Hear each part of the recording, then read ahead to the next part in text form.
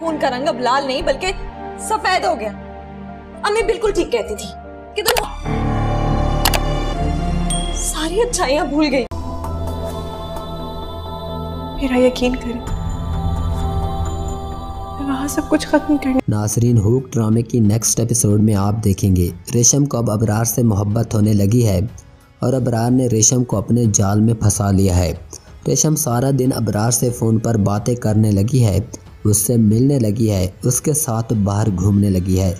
लेकिन रेशम एक बार फिर हया की नज़रों में आ जाती है और हया को पता चल जाता है कि रेशम जिस लड़के से मिलने के लिए जाती है, ये वही लड़का है जो पहले भी इस घर में आ चुका है। ये लोग उस रिश्ते से इनकार कर चुके हैं, लेकिन इसके बावजूद भी उसका रेशम के नज़दीक आना।